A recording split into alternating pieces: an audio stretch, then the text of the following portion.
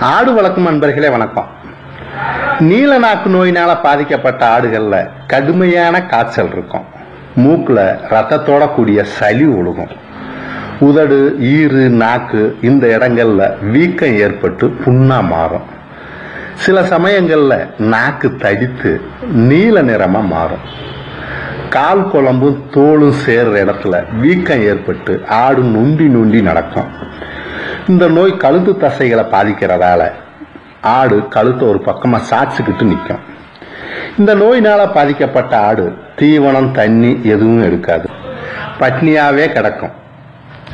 இந்த நீலநாக்கு நோய் மழைக்காலம் அதாவது அக்டோபர் நவம்பர் டிசம்பர் இந்த மாதங்கள்ல தான் அதிக அளவில் பாதிப்பை ஏற்படுத்தும். இந்த நோயினால் பாதிக்கப்பட்ட ஆட்டை தனியாக பிரித்து பராமரிக்கணும். அரிசி கம்பு கேழ்வரகு இதுகளை கஞ்சியாக காய்ச்சி கொடுக்கணும்.